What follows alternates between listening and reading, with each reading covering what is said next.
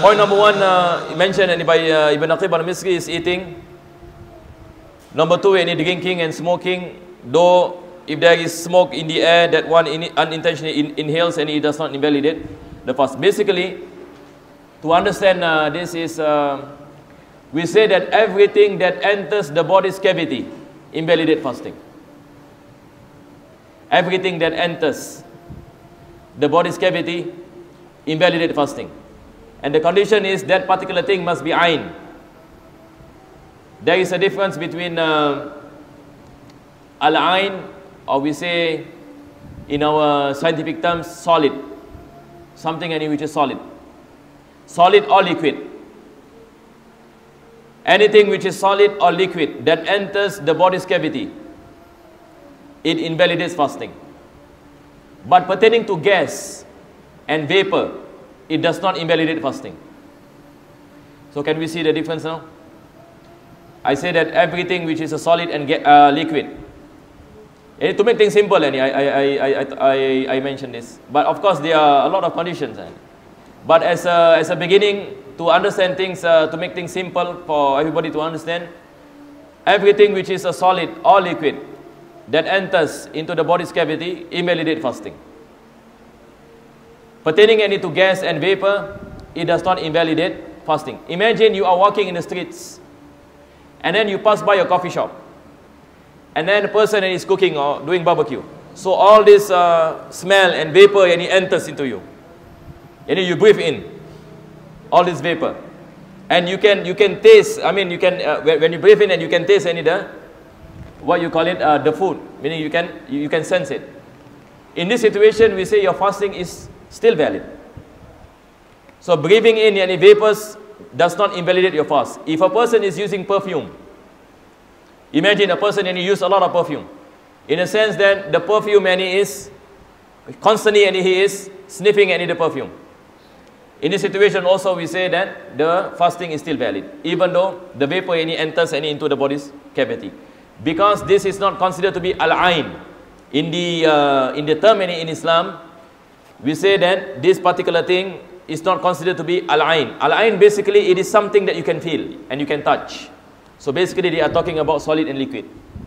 Something that you can you can feel and you can touch. So anything solid and liquid enters into the body's cavity, your fasting and you will be invalidated. That is why we say eating and invalidate the fast. Because when we eat and we are putting uh, things and into our into our body's cavity, it invalidates the fast. Drinking also invalidates the fast and anything that enters into the body cavity. And the body's cavity in our madhab al-Imam Shafi and most of the madhahib includes their ears. Their ears is considered to be a body's cavity. And also the nose, the mouth and the private parts. And we do not consider the eyes to be part of the body's cavity. Meaning if anything enter through your eyes, it does not invalidate your fast. Even though you can feel at your throats, if something enters in your eyes and you can feel it at your throats, it does not invalidate your fast because we do not consider the eyes to be a body cavity. We consider the ears, we consider the nose, we consider the mouth, we consider the private parts to be the body's cavity. So anything that enters through the body's cavity, it invalidates fasting. And there is something that we have to understand also we do not talk about entering the body's cavity and reaching the stomach. Reaching the stomach is not a condition. Remember this. Reaching the stomach is not a condition. So for example, if, if a person, if a person, uh, people nowadays ask a lot about swimming for example. Is it permissible for a Muslim to swim while he is fasting or not permissible? In this particular situation, we say if a person dive into the water, what happens? Imagine any you dive into the water. Uh, water will enter your ears. Just talking about the ears, water yani will enter into your into your ears. In this situation, when water into enter into your ears, it enter into your ears, but it does not. The water yani does not reach your stomach. Correct or not? Because water yani, that enters into the ears, it does not reach the stomach. But we say that the fasting is invalid. Because we do not consider that a particular thing to enter the stomach for us to say that the fasting becomes invalid. It is not a condition. But we say that if anything enter through the body's cavity, it invalidates fasting. Whether that particular thing enters the stomach or did not enter the stomach. So we should not be confused because there are people who are confused in this. There are people who thought that it must enter the stomach, then fasting becomes invalid. That is not a condition. Another example I will give is pertaining any to istinja. Imagine a person is doing istinja and water enters into the private parts. He, he or she is doing excessively and water enters into the private parts. Is the fasting valid or not valid? Fasting is invalid. But now a person and he does any istinja and water enters into the private parts, it does not reach the stomach. But we say that since the water enters into the body's cavity, it invalidates fasting. So we do not talk about whether it reaches the stomach or it does not reach the stomach. We are talking about whether it enters the body's cavity or it does not enter into the body's cavity. So anything that enters the ears, anything that enters in the mouth, the nostrils, and the private parts, it invalidates fasting. That is why when we are bathing, we have to be careful. We have to be careful. Yani when we are bathing, whether we are using the shower or we are bathing in the bathtub. If you are using the shower, uh, it is easier to, to, uh, to protect yourself any from uh, things that invalidate the fast. Just make sure that water any does not enter into deep into your ears. That's all. Your fasting any is still valid. Just make sure that when you, when you bathe, water any does not enter into the depth any of your depth of your of your ears water if enter into the exterior part of your ears, it is okay. What we are talking about is the interior part of the ears, because the ears we have exterior and interior. Pertaining to the exterior, no problem. What we are talking about is the interior. The same thing if you are using this uh, cotton bud and you are cleaning your ears. It is permissible that you do, do so if you are cleaning the exterior part of your ears. But if you are inserting the cotton bud into the interior part of your ears, your fasting becomes, your fasting becomes invalid. So anything that you make to insert into your ears and it reaches the interior part of the ears, your fasting becomes invalid. The same thing pertaining to the mouth. The, the mouth also we have exterior and interior. If you take food and you put inside your mouth, your fasting is still valid. But when the food enters into the exterior part of the mouth, into your throats, then only your fasting and it becomes, your fasting and it becomes invalid. So we have to understand where is the uh, where is the part where the starting point of our body's cavity. Because even for the nostrils also we have the starting point. Even for the mouth also we have starting point. Even for the ears also we have a starting point. So we have to ascertain where is the starting point. And even in our private parts also. We have to uh, we have to understand where is the part that water can enter and where is the part that water cannot enter because everything we have exterior and we have we have interior. In in the chapter of fasting we are only talking about the interior part of the body's cavity. We are not talking about exterior part. We are not talking about, we are not talking about exterior part. So anything that enters the body's cavity invalidate the fasting.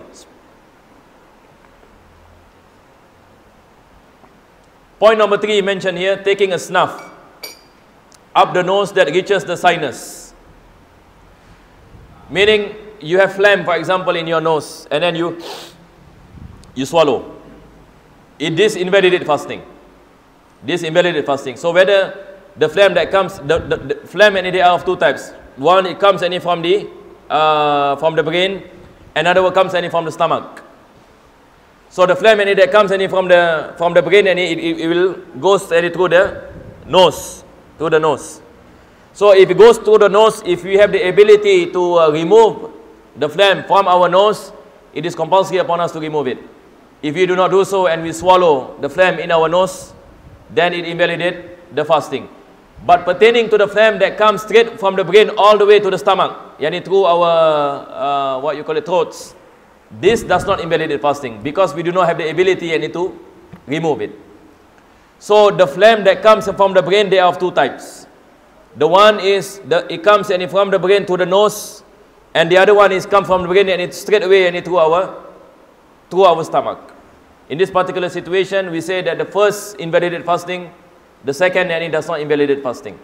So when we have phlegm in our nose, it is compulsory that we that we remove it and not to and not to swallow it. If we have the ability to do so. If we, uh, if, if, if uh, we, uh, we do it not in purpose, or we do not have the capacity to do so, sometimes any, uh, we, we suffer with a lot of phlegm until we do not have the, uh, uh, what you call it, the ability and to remove it at all time. So these are the cases in which are forgiven. Cases we are forgiven. But the ruling pertaining to phlegm is this. We cannot swallow any phlegm. We can swallow the saliva though. Saliva can be swallowed. So there is a different ruling pertaining to saliva and phlegm. Pertaining to saliva, we can swallow, uh, swallow any saliva, no problem. But what we are talking about is phlegm that comes into the nose or come from the stomach, up. Imagine any, when we have phlegm any from the stomach and it comes any and it uh, enters into the exterior part of our mouth. In our madhab al-Imam Shafi'i, the prevailing judgment, uh, the mu'tamad is, as what I mentioned by al-Imam nawawi the beginning of our mouth is when we pronounce the letter kha. If you pronounce the letter kha, that is the beginning of your body's cavity. So now how do we ascertain now? Imagine there is phlegm and from the stomach comes up. And it reaches any, the point when you say kha. Meaning when you say kha, the phlegm can come out. Now this is a situation we say that it is compulsory upon you to remove it. Understand? Sometimes the phlegm is stuck in the throat. That is not compulsory. So the point any of uh, the beginning any of our body's cavity is at the point when we, when we utter the letter kha. That is the point. And this is the opinion of Imam Nawawi. And this is the thing that we hold on any in the madhab of Imam, the madhab of Imam Shafi'i. So if the phlegm any comes from the stomach, it depends. If you reach any letter kha, then it is compulsory upon us any to remove it. The same thing any for the phlegm that comes any from the brain also. If the phlegm comes and into the in exterior part of the mouth, then it is compulsory upon us and to spit it out. Taib. Number four, anything that goes into the uh, private parts. So when we are doing istinja, we have to be careful. When we are doing istinja, we have to be careful. And also when we talk about sexual intercourse between husband and wife, you, later and we will talk about uh, sexual intercourse and the rulings pertaining to sexual intercourse. But basically, there is a situation that our, our fuqaha in they mentioned if a husband and wife and he perform sexual intercourse and they do it unknowingly and unintentionally, the fasting is still valid for the husband, but the fasting is not valid for the wife. Because of this, this is the point. Point number four. Because something and he has entered into the uh, into the body's cavity. That is why we say that the fasting any of the wife and it becomes invalid. Number five is uh, pouring water into the ears until it reaches the eardrum. The eardrum is the point of the the point of the body's cavity. So anything any that reaches any the eardrum invalidate the fast. So if you bathe and you're using shower tap and you do this, you point the, the, the water into your ears, confirm any your fasting becomes invalid. Confirm your fasting becomes becomes invalid. Number seven, uh, uh, number six, inserting a finger or something else into the anus or vagina further than the area disclosed when one squats. Disclosed when one squats. This is the point any of the beginning of the body's cavity. And when we do istinja, we have to be careful. Otherwise, our fasting becomes, our fasting any becomes invalid. Anything that enters the body's cav cavity is what we mentioned. So whether we are talking about uh, anything, whether we are talking about food or anything that enters into the body's cavity. Today people are asking about injection, whether injection invalidate the fast or does not invalidate the fast. There are differences among our scholars. Uh, some scholars any mention all forms of injection invalidate the fast. Some scholars mention that injection does not invalidate the fast. And those who say that injection does not invalidate the fast, does not, uh, does not uh, invalidate the fast, they say that injection is done not through the body's cavity. Because when we do injection, we are injecting something into the body, not through the body's cavity. Most injections any they do any from the uh, from the arms. Is this a body cavity or not a body cavity? This is not a body cavity. Or even when we talk about any injection any from the from the uh, from, from the main veins. Also it is not from the body's cavity. So some scholars mention that injection any does not invalidate does not invalidate fasting. But uh, most of our scholars, they mention that injection can invalidate fasting. So we have to look at the nature of injection. Injection that is done through the main veins, invalidate fasting. Injection that is done and it through the main veins, invalidate fasting. But injection, if it is done not through the main veins, does not invalidate fasting. So if a person does injection and in the arms, does not invalidate fasting. But if a person does injection and from the main veins, it invalidates fasting. Understand or not? And this is only pertaining to medication, injection because of medication. But injection to uh, inject glucose and vitamins, there is no differences amongst the fuqaha. All of them mention that it invalidates fasting. Imagine you are fasting and you inject glucose. Say, I, I do not eat, but I inject glucose. Or I inject water. Because nowadays we have technology. Correct or not? We have technology that we can insert water into our veins. We can insert water to our body, not uh, by, by drinking or by eating. There is a way I need to do it. In this particular situation, all our scholars mentioned that this type of injection invalidates the fast. Because it go against any the purpose of fasting. You are injecting any glucose and food any into your, into your body. And point number eight is vomiting. If it is deliberate and one is able to prevent it. Pertaining to vomiting, it only invalidates if it is done intentionally. If a person does vomiting intentionally, automatically the fasting becomes invalid. Vomiting intentionally meaning any putting the finger into the mouth and then he vomits. In this situation, fasting becomes invalid. But if a person is sick and then he, and he vomits, in this situation, we say it does not invalidate the fasting because it is not done deliberately. So we say that the fasting is still valid unless if you swallow the vomit. If that happens, then we say the fasting is invalid. Taib. Unless any, if he cannot control it, meaning the, the vomiting is a lot and unintentionally he, he swallow any part of the vomit, it is forgiven. It is. Number nine is sexual intercourse. If deliberate, even if it is an, if it, there is no orgasm.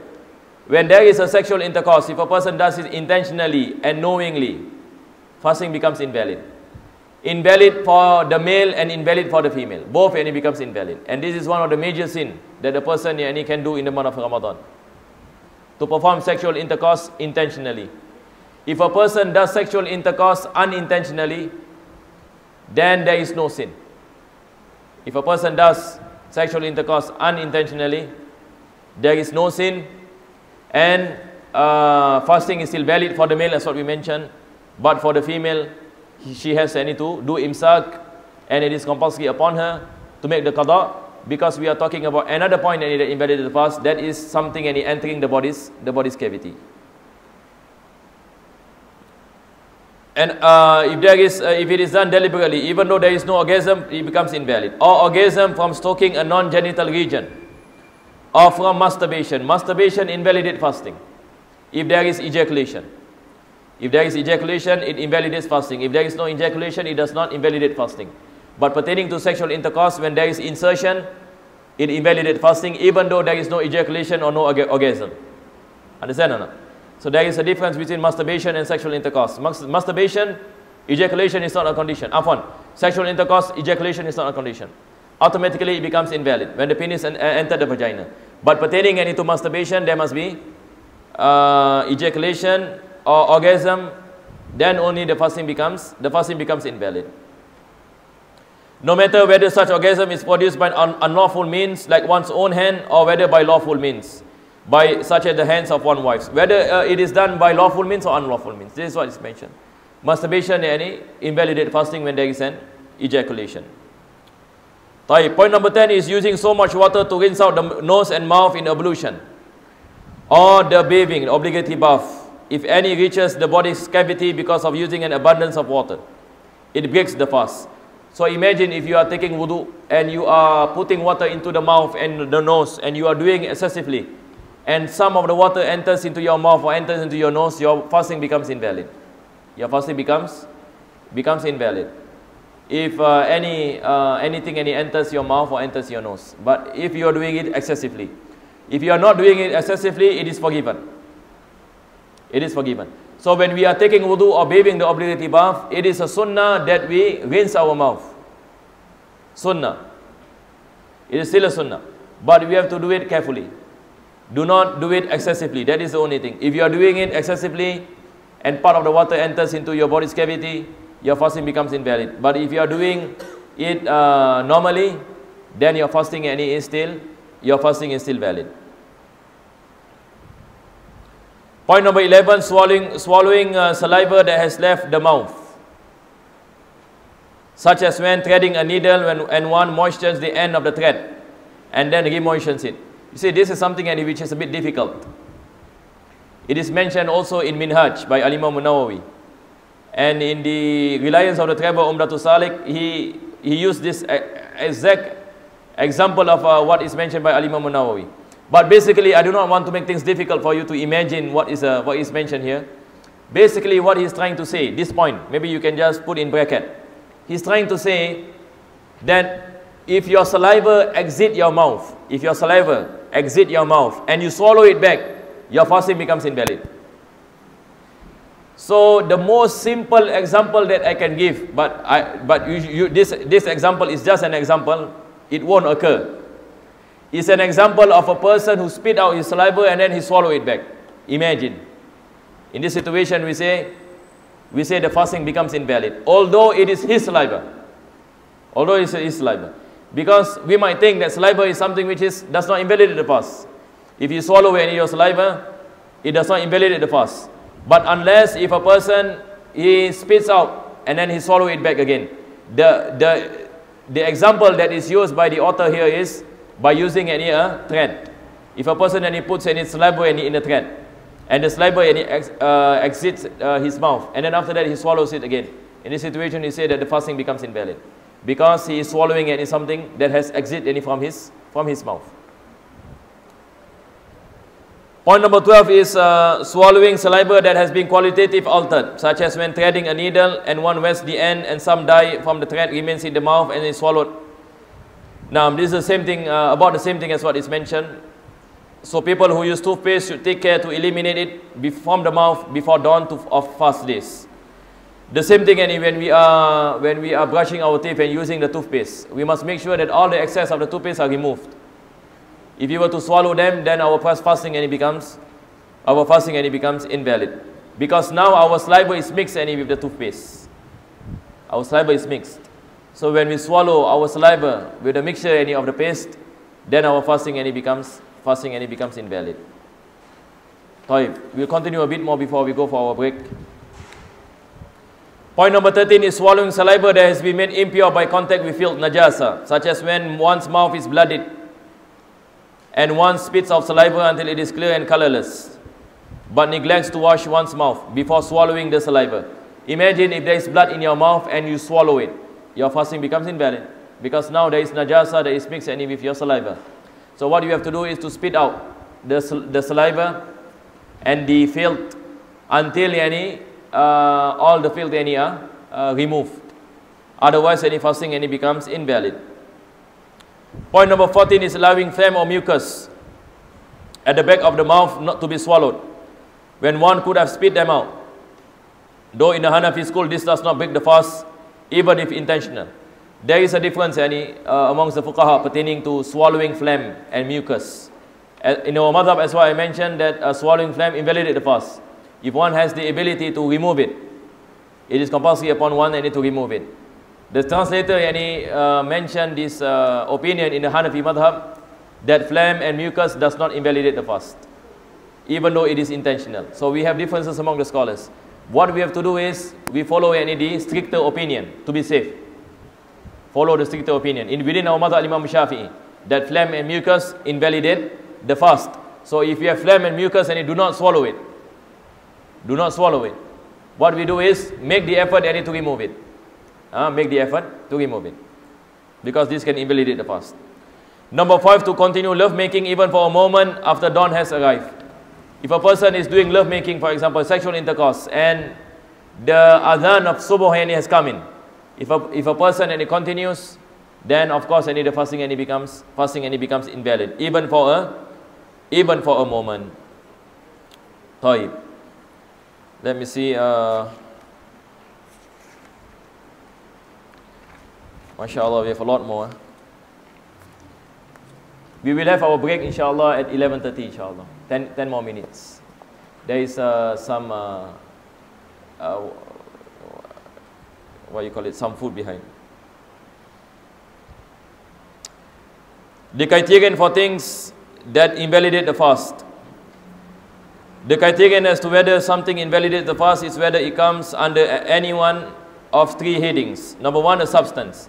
Now this, uh, again, and he's talking about the conditions that breaks any the fast. So number thing is, uh, number one is a substance, even if not much, that reaches the body cavity through an open passageway. Substance excluding odors, and open excluding anything else such as absorption through pores. This is pertaining any to what we mentioned earlier, anything that enters into the body cavity, that it has to be an ayn, something that either a solid or liquid, something that can be felt. This is the thing any that invalidate the fast. So other than that, like odor and vapor, it does not invalidate, it does not invalidate the fast. And also it has to go through the body's cavity, not through pores. Because there are some ointment that you put in your hands, they can enter into your bloodstream. But they enter any through the, through the pores, not through the body's cavity. In this situation, we say that the fasting any is still valid. Point number two, sexual intercourse, meaning inserting the head or the penis into the vagina. If, uh, if, uh, if anything minimum than this, it does not invalid, invalid the fast. Number three, orgasm, whether as the result of touching, kissing, uh, contact, lying between the other side or something else, or because of masturbation. If there is uh, a, an orgasm or ejaculation, as what we mentioned, that it invalidates the fast uh, with, with a condition, yani, with condition. Inshallah, later we will mention the condition and pertaining to the uh, masturbation and the things that invalidates it. And then he mentioned the expiation for uh, uh, not fasting a fast day by sexual intercourse. In addition to making up the fast, the expiation is obligatory for fast days. This is pertaining to a person who does sexual intercourse in the days of fasting. Imagine a person who purposely do sexual intercourse in the uh, days of fasting. Not only it is sinful, it is compulsory upon him and her to do imsak, meaning to refrain from things that invalidate the fast. And also it is compulsory upon them to make qada, make up for the fasting that they have, uh, uh, what you call it, uh, where they, they perform the sexual intercourse. And then it is compulsory upon them to pay the kafara, expiation. This is what the authors mentioned compulsory upon them need to pay the kafara. So in addition to making up the fast, an expiation is obligatory for fast days of Ramadan that are deliberately violated by sexual intercourse. The legal occasion of the offense is a particular day of fasting, so if it is committed on two separate days, two separate expiation will be necessary. The expiation consists of freeing a sound Muslim slave. This is the first thing. If he has the ability to free a slave, then it is compulsory upon him to free a slave. Nowadays we do not have any slaves, so we go, we go to the second, second stage. If this is not possible, then to fast the days of two consecutive months continuously, to fast two months continuously. If this is not possible, meaning a person does not have the ability to fast, and then he said then the expiration is to feed 60 unfortunate, any 60 poor people, 0.51 liters of food, meaning one mode of rice that is given any to the poor people, 60 of them. If one is unable to do this, the expiation remains as an unperformed obligation upon the person concerned. The woman who is made love to is not obliged to expire. Pertaining any to the, to the woman or to the female, there is no expiation, no kafara. Kafara is only any to the male. This kafara is only to the male. So if, a, if a, imagine husband and wife do sexual intercourse and in the day of Ramadan. What is compulsory is upon the husband to pay the expiation. Whether to free a slave, or to fast any two months continuously, or to feed 60 poor people. It is compulsory any upon the, upon the husband, not upon the wife. This is what is mentioned here.